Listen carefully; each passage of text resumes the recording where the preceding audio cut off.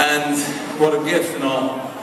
And my Mrs. Ali was saying, so we got married and it's, great. Sun, s- you know, sea, sand. What's the next album about? What's it called? I said, uh, War.